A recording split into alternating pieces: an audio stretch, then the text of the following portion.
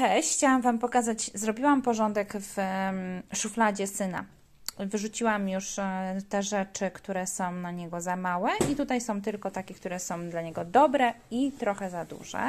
I tutaj są bluzeczki z długim rękawem, e, body z krótkim rękawem, e, spodnie, być może dokupię jeszcze kilka par spodni.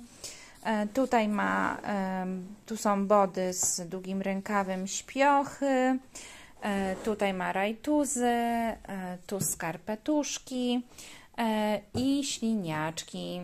E, Z tym, że chciałam powiedzieć, że nie polecam tych śliniaków z Pepko, które są zapinane na karku, bo to gryzie.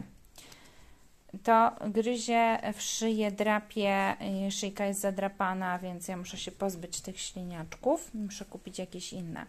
W każdym razie jestem bardzo zadowolona i ostatnio właśnie robię porządki we wszystkich szafach. Nie tylko w szufladzie u dziecka, ale we wszystkich szafach.